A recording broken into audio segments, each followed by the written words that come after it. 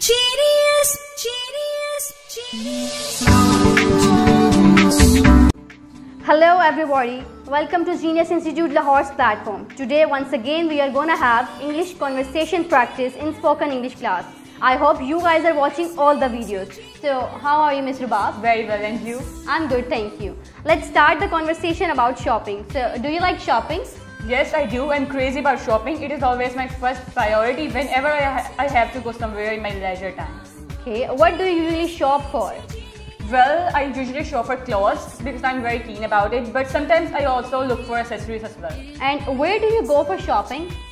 Well, I always prefer shopping in my neighbor neighborhood areas, uh, but I also go in boutiques and malls as well whenever I have to go in my uh, in ever every uh, formal event. Alright. Are there many shops in your neighborhood? Uh, as a matter of fact, as I live in city centers, so there are many choices for me where to shop and where to go. Do you spend much money on shopping? Yes, I do, as I am shopaholic, so I'm usually broke at the end of the month. Okay, uh, do you usually shop online?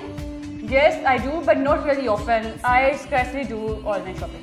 And what's the difference between online shopping and offline shopping? There is a major difference between online and offline shopping. Uh, while shopping online, you can't uh, you can uh, you can try the fibers uh, and pieces of cloth, and you can have a look at the uh, pieces of cloth as well. So um, it, I found offline shopping more convenient and more satisfying.